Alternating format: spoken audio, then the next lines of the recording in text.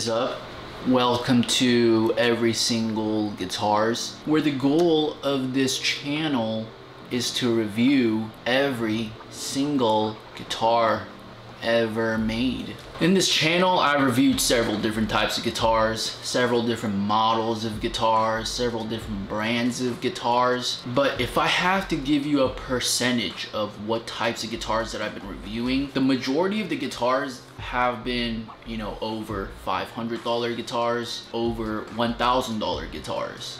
But since the goal of this channel is to review every single guitar, I can't just be reviewing guitars, you know, that are over a thousand bucks or two thousand bucks. I have to diversify just like you would do in your personal investments and review different types of guitars with different price points. So today I have a Keith Urban signature acoustic guitar. Actually, I'm not sure if signature is the right word because I don't think he personally plays this guitar, but this is the guitar that Keith Urban produced to sell to beginner guitarist, intermediate guitarist, basically someone who wants to learn the guitar and wants a good quality guitar for the money that they spend.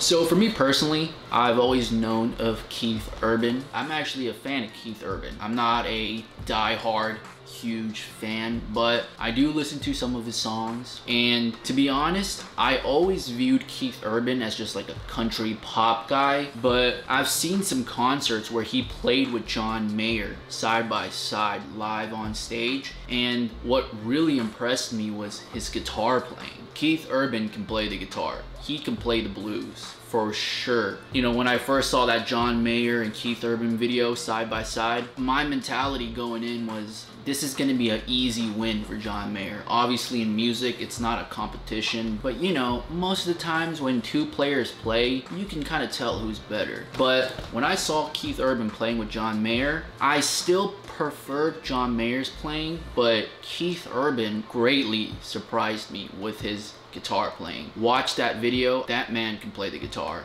for sure.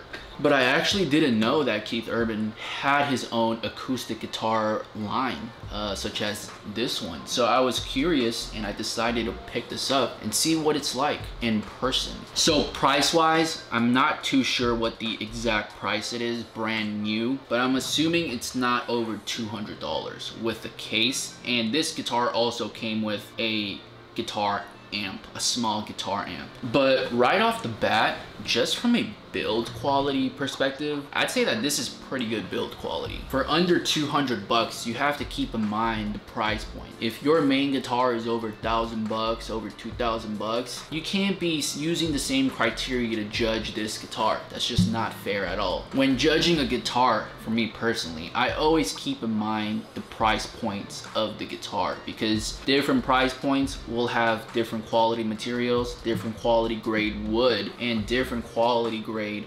hardware. For a under $200 guitar, I'd say that the overall build of this is pretty damn good. First impression for the weight, this is a pretty light guitar. Even though this is a Dreadnought with a cutaway, Dreadnought is a pretty big guitar when it comes to acoustics, but this particular guitar, even though it's a Dreadnought shape, it is a light guitar. I'd say this is maybe four pounds. But other than the weight, the first thing that came to my notice was, dude, this guitar looks kind of fancy for a beginner entry level guitar with these abalone binding that goes throughout this entire guitar, including the back, which is a three-piece back, assuming this is a laminate, but still, it just looks like a very elegant and luxurious guitar for under 200. Also, you got the abalone inlays on the sound hole as well as this very unique inlay design on the fretboard. It looks like some kind of bird. No, it looks like kind of wing. Just from a visual perspective, how a guitar looks, this just looks like a fancy guitar for a beginner.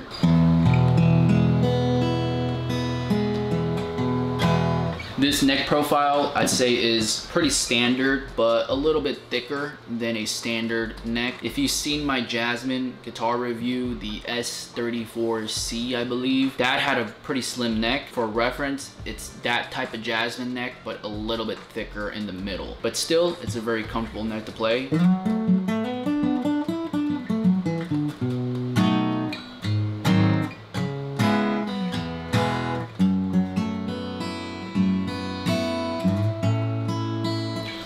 Cool thing about this guitar is it has the Keith Urban signature logo right on the bottom. Like I said, it just gives it a very luxurious feel to a entry level guitar. Like for example, if I was, you know, 10 years old going to a store looking for my first guitar to buy, if I saw this guitar on the wall, this is probably the first thing that would come to my mind if I was looking for a guitar. It just looks very fancy, like I said. Another cool feature of this guitar is this is actually a acoustic electric guitar. There is a output jack on the bottom with a 9 volt battery I assume and also you can control the electronics on the top of the guitar treble middle bass presence there's also a built-in tuner as well as a volume control. Hey man, for a beginner, if you're looking into playing the guitar, this guitar has more than what you need to start learning. I'd say that the cheapest part of this guitar, and this is the theme that I see for a lot of lower end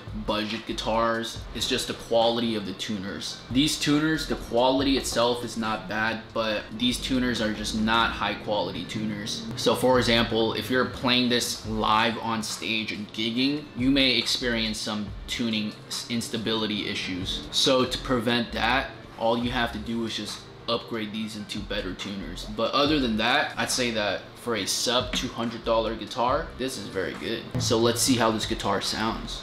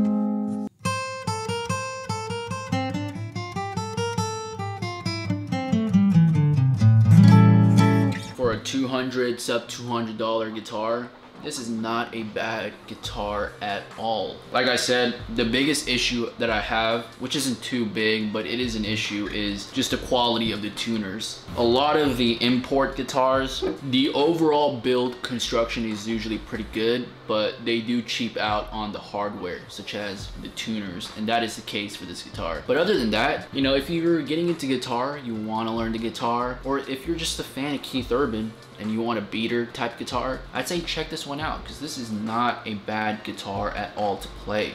Build quality, i probably give this a 7.5 out of 10. Tone, i probably give this a 7 out of 10. So for under 200, I'd say that this is overall a pretty solid acoustic electric guitar.